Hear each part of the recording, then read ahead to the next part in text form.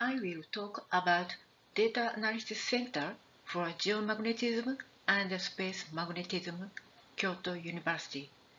I am Ayako Matsuoka, Director of the Data Center. The Data Analysis Center for Geomagnetism and Space Magnetism has dual aspects. It is a facility of the Graduate School of Science Kyoto University and at the same time it is part of the international organization World Data Centers. As a university institution, we are in charge of student education as well as scientific research on geomagnetism and space magnetism.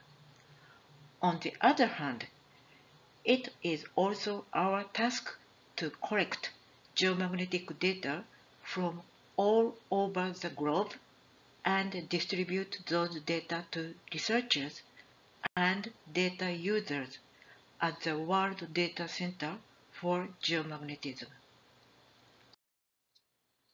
The mission of WDC Kyoto is to provide geomagnetic field data supplied from a worldwide network of magnetic observatories and the geomagnetic indices to researchers specializing mostly in solar terrestrial physics and geomagnetism.